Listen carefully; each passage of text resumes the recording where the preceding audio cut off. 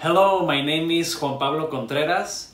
I'm a Mexican composer based in Los Angeles, and I write music that celebrates the history, colors, and traditions of my native country. One of my missions as a composer is to invite both musicians and listeners from all backgrounds to feel more included and represented in this beautiful genre that is classical music.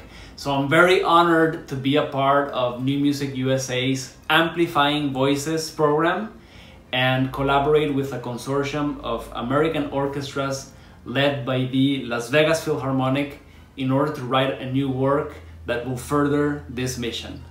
My composition will tell a story describing the edge effect that occurs in communities that are in the border shared between the United States and Mexico.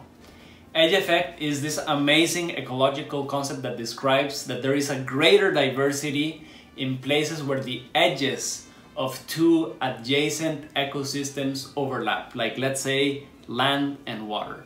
So my work will shine a light on these Mexican American communities that have flourished in the border where this cultural edge effect has taken place. And my hope is that this same thing uh, will continue to happen in classical music. That diversity is championed and that voices from all backgrounds are valued and heard.